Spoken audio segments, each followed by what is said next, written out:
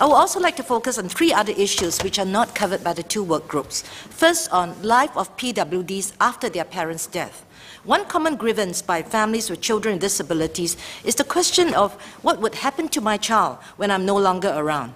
I've heard this at many focus groups for the last 20 years. Their worries range from financial, legal, housing, healthcare, and other issues. In recent years, there are books, portals, and even agencies to help families plan for the future.